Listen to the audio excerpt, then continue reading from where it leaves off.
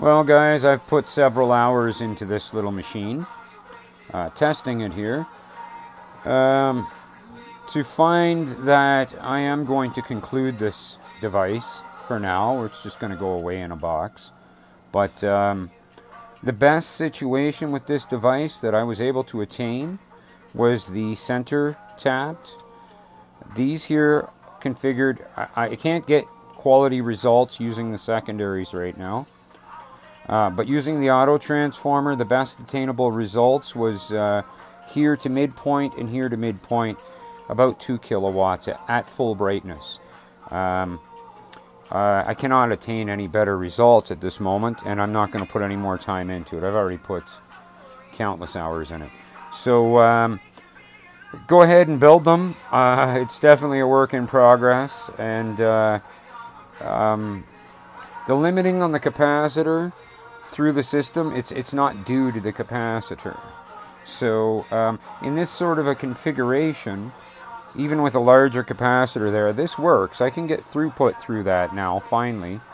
You know, maybe uh, 450 watts. But when I have a second capacitor on there, the two counts cancel each other out. And uh, the whole uh, oscillation and everything comes to a cease. It'll resonate for 5-10 seconds, increase in brightness, hit a certain point, and then collapse the entire thing. So, eh, it's too much headache right now for me. I'm in the middle of my baby. So we're going to configure these all to disruptive discharge, and they're out the fucking door. All of them. All of them. Done, gone. See ya.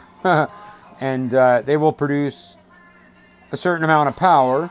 They, they will be configured for their most maximum output but uh, to, to attain two, two megawatts into this, you're going to be putting kilowatts, many, many kilowatts into that. So be that aware to you. Uh, you're not going to just get two megawatts out of this thing indefinitely without putting like 20,000 watts into it. Um, you have to drive 8 UF at like a million times a second, so you have to supply enough energy to fill that capacitor 8 UF 1 million times a second. That's uh, a lot of power. so uh, they will, they do have the pretend, potential in disruptive discharge to produce 2 megawatts and beyond, really, uh, up to 400 megawatts if you were able to control the beast. Uh, they come uh, switching uh, maximum 60 joules, probably in and around the 25 to 30 joule is like, you know, what these things want. So now to, to get that 30 joule, you've got to put 35 million joule into that in every second. Uh, uh, uh 30, yeah, 35 joule times 1 million flashes a second is 35 million joule in one second. So uh, if you do the math, you'll obviously know that you're not just going to put 10 watts into this and get 100 kilowatts out of it. I mean, that's, that's just uh, outlandish.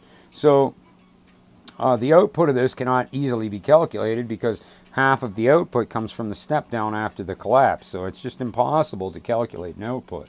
But uh, an input you can calculate, and uh, uh, for 400, 4 mega, 400 megawatts, you would have to supply 400 joule 1 million times a second is what you would have to supply to this to get 4 megawatts out of it.